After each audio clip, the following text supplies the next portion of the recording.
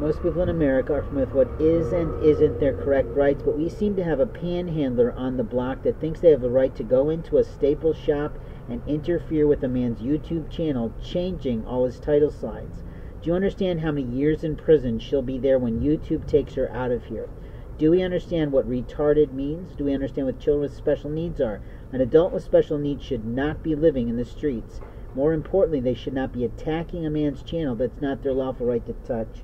When that child gets taken to prison, her entire family network will fall. Every single one of them will be going to jail with them, including the retail and customers, not at all, but the retail employees of the Staple Shop here in Champaign, Illinois. This is live news reporting that we have people abusing technology rights in Wi Fi networks and thinking that they're just right. They're not. We're going to make sure they go to jail today, and I promise you the CIA is not here. But the FBI has been in and out all year, and what we're going to do is make sure these people stop.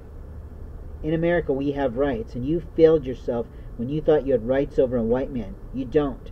When you thought you had rights over someone else's life, you don't. When you thought you had rights into someone's video accounts and someone's social media accounts, you don't. And here's the stupid thing of you your name is listed on the YouTube channel for fucking around in a way you shouldn't have.